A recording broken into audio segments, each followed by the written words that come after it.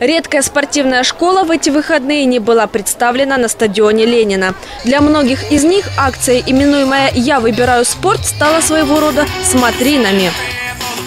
И, конечно, очень интересно и приятно, я думаю, каждой спортивной школе сделать свою маленькую, но очень объемную визитную карточку. Показать все самое лучшее, достижения в виде кубков, в виде своих побед, в виде плакатов, баннеров. Ну и самое главное, конечно, в виде своего мастерства, которое они показывают. Почти 60 тысяч детей в Орловской области занимаются в спортивных кружках. Но, тем не менее, это небольшой процент.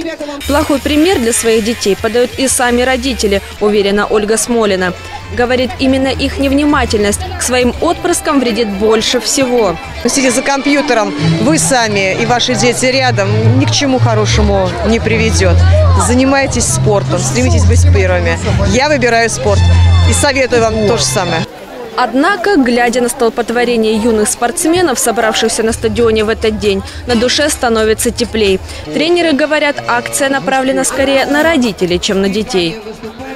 Главное, чтобы ребенок не был брошен на улице, потому что э, мы не примем тренеры, примет улица. Это моментально. Ребенок э, на улице – это уже чужой ребенок. Алиса Мельянченко, Эдуард Чернаускас, телеканал «Первый областной».